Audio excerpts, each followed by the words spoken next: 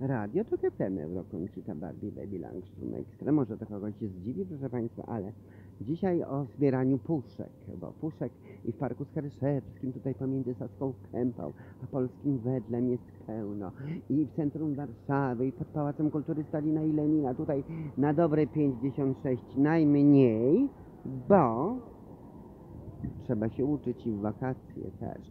Ale tam Wisła jest, tam nad Wisłą, żeby jest tylko z tamtej strony, za Stadionem Narodowym, jest takie pijaństwo, dochlają wódkę, no to nie wiem jak tam z tymi butelkami po wódce, ale po piwie brązowe przyjmują.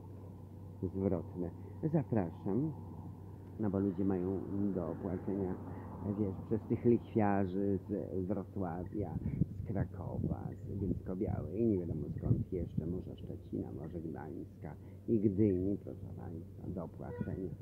Pożyczki muszą jakoś e, z tego wyjść.